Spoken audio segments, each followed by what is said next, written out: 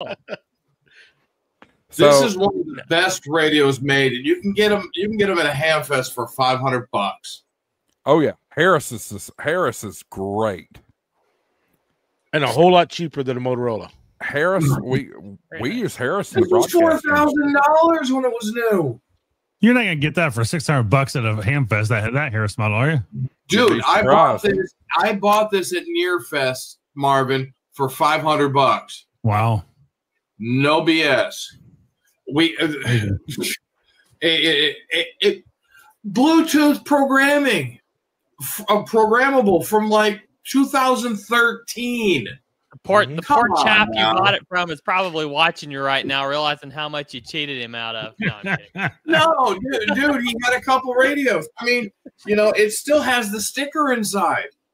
You know, they did they did- Motorola, Go Motorola in 2013, you still had to have DOS and a serial port to program. Yeah, look, I said, look, it's still got the sticker in it.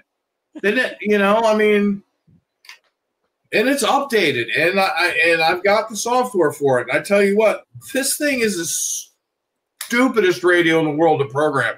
You got front panel programming. You've got everything from 2013.